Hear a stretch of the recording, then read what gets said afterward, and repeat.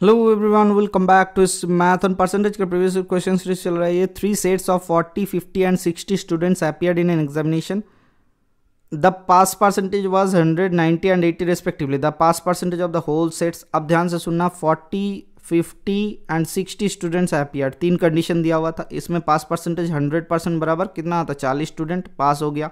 90 percent pass हुआ मतलब sir नौ पाँच पैंतालीस स्टूडेंट पास हो गया। ये कैलकुलेशन आपको जल्दी जल्दी करना है। 80 परसेंट मतलब आठ सौ का अड़तालीस, फोर्टी एट स्टूडेंट पास हो गया। टोटल पास कितना हुआ? सर इधर होता है चार तीन बारह बारह और इधर होता है आठ पाँच तेरह। आठ पाँच कितना होता है? तेरह। अच्छा तीन तीन, एक सौ तैंतीस स्टूडेंट पास किया टोटल। कितने में एक सौ तैंतीस स्टूडेंट पास किया? एक सौ पचास में। कितना प्रतिशत? इंटू सौ प्रतिशत तो इधर कट गया, इधर कट गया। तो पाँच, तीन, पंद्रह, पाँच दूना दस।